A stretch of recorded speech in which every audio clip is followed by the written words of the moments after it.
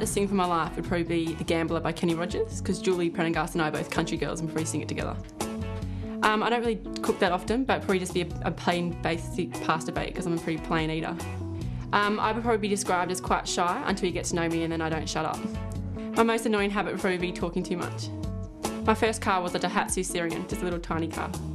My first job was at the AIS in administration. My current occupation outside netball is at Netball New South Wales working in marketing. My dream holiday destination would probably be going around Europe. Um, I don't really have a great fear. I'm not like a sook like Kath Cox and scared of everything. My favourite overindulgence would be chocolate. I am happiest when I am lazing out on the couch.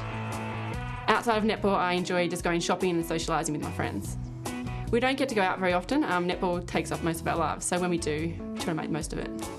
If I didn't play netball, I'd probably play basketball, but if I could, I'd play tennis because I love it.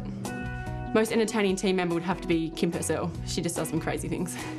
Uh, best teammate to room with would be Emma Costa. Why? I don't know, she's just too nice.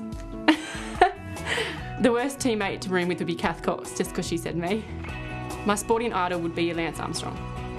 Toughest opponent would probably be Mo'onia Gerrard. We seem to have a bit of a fight out there on the court. It's a bit of fun. Team I most enjoy playing would be the Melbourne Vixens.